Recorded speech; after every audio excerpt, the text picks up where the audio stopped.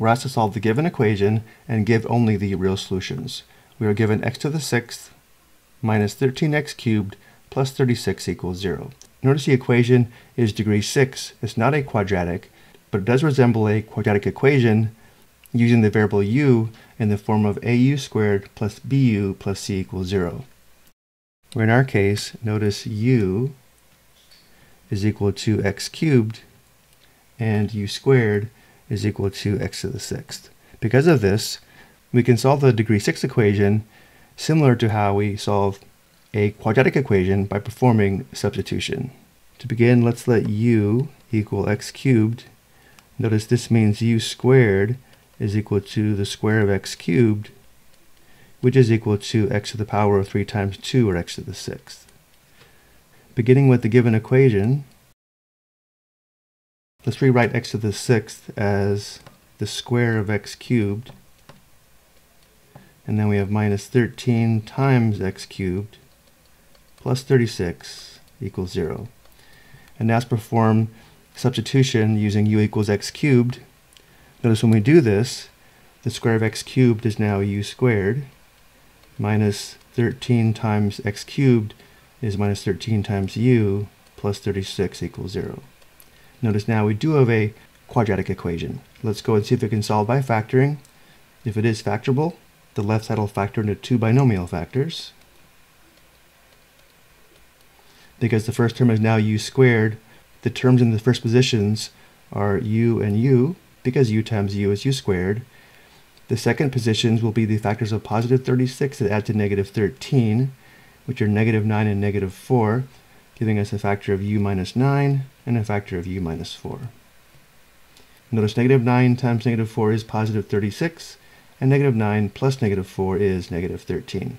Now that we have it factored, because we are solving for x, not u, let's perform another substitution and replace u with x cubed. This gives us x cubed minus 9 as one factor, and x cubed minus 4 as the second factor. After doing several of these types of problems, notice we may be able to skip the substitution, write the given equation in this form, and then go straight to the factored form as we see here in terms of x. And now solving for x, we know the product on the left must equal 0, which indicates x cubed minus 9 must equal 0, or x cubed minus 4 must equal 0. And now let's go ahead and solve these equations for x. And again, we're only looking for the real solutions. For the equation on the left, we add 9 to both sides, which gives us x cubed equals positive 9. To undo the cube and solve for x, we either take the cube root of both sides of the equation or raise both sides of the equation to the one-third power. I'll go ahead and take the cube root of both sides. Because we're taking the cube root, remember, we do not include a plus or minus.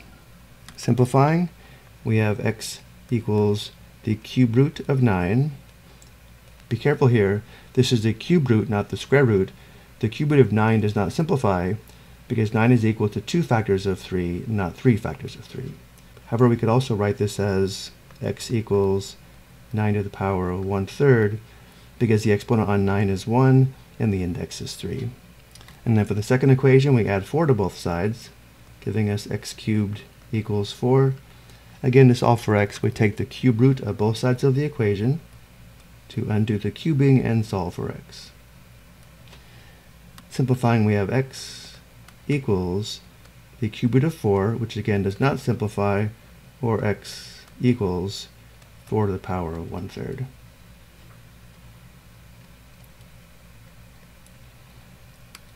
The given equation has two real solutions which can be expressed in either of these two forms. Let's verify these two solutions actually satisfy the given equation. To do this, we substitute x with the cube root of 9, or 9 to the power of 1 third, as well as the cube root of 4, or 4 to the power of 1 third. I've already set this up in the calculator. Notice when we check, notice when we check the cube root of 9, or 9 to the power of 1 third, we do get 0. However, when using the cube root of 4, or 4 to the 1 third, which is equal to 0, but the calculator is giving us scientific notation, which is very close to 0. Because of this, I actually simplified the expression on the left using exponent properties. For example, notice if we have 9 to the power of 1 third raised to the power of 6, we multiply the exponents, which would give us 9 to the power of 1 third times 6, or 9 squared, shown here. And 9 to the power of 1 third cubed simplifies to just one factor of 9. After simplifying, we can see 9 to the power of 1 third, or the cubed of 9, does satisfy the equation.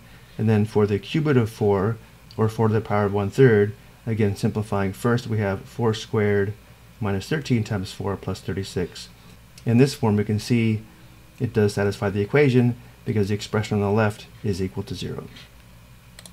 I hope you found this helpful.